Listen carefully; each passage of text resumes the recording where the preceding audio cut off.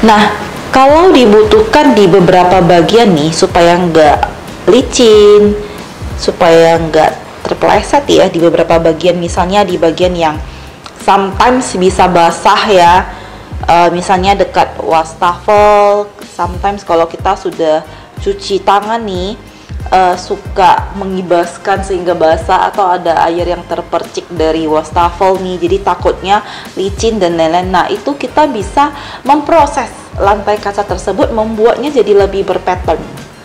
Oke jadi dia kayak ada anti slipnya jadi ada prosesnya juga nah kalau untuk uh, lantai yang saya injak sekarang nih jadi ini dia adalah yang bening.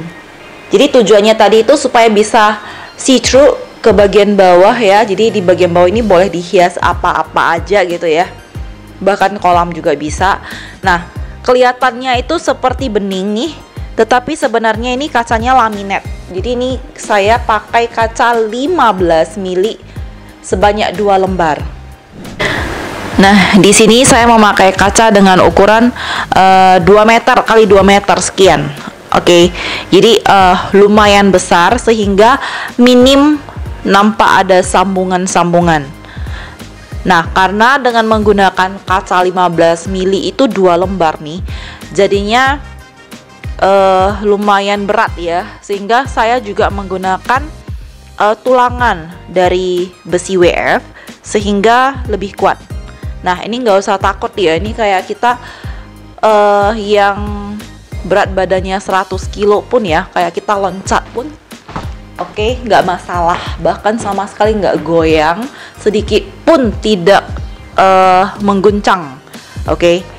jadi uh, sangat kuat di kaca lantai kaca ini kita juga sudah pasang lebih kurang 10 tahunan ya dan juga kita boleh lihat dalam ruangan ini ada sofa, ada meja tamu, ada buffet TV.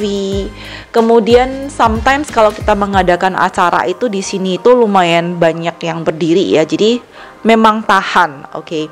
Ada lemari bahkan ya. Jadi uh, ada juga beberapa desain menggunakan lantai kaca ini biasanya bawahnya itu mereka pasangkan lampu ya dan di atasnya itu dijadiin uh, kamar tidur khusus untuk tempat tidur gitu ya. Nah, kalau ada komentar ataupun kritik nih boleh ya di kolom komentar di bawah ataupun kita next video mau ceritain tentang kaca apa ya? Di komen di bawah aja, oke? Okay? Thank you.